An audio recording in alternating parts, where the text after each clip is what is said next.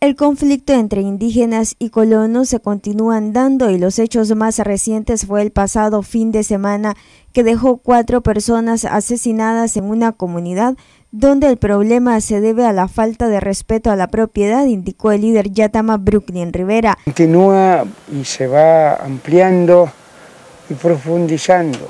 Hemos visto últimamente asesinatos en varias partes de los territorios indígenas y se va a continuar.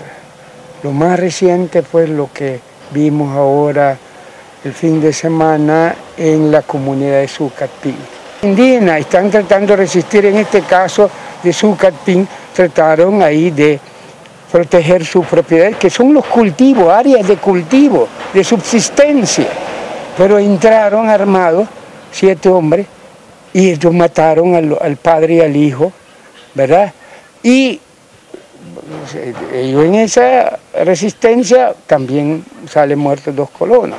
Va a generar más situación eh, eh, de, crisis, de enfrentamiento, pero también de zozobra y de hambre.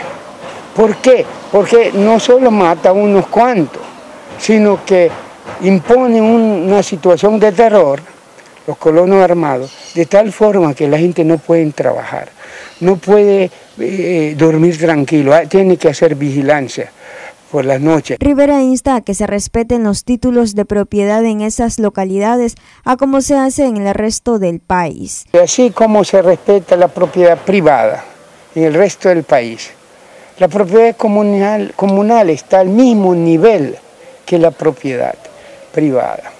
Aún más, es propiedad privada comunal, ¿verdad? Entonces debía respetarlo, garantizarlo, ¿verdad? Y el Estado es el organismo llamado a través de sus instituciones a dar protección, ¿verdad?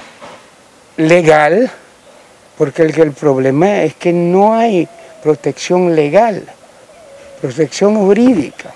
Lo deja a la libertinaje de los colonos. Noticias 12 Darlene Telles.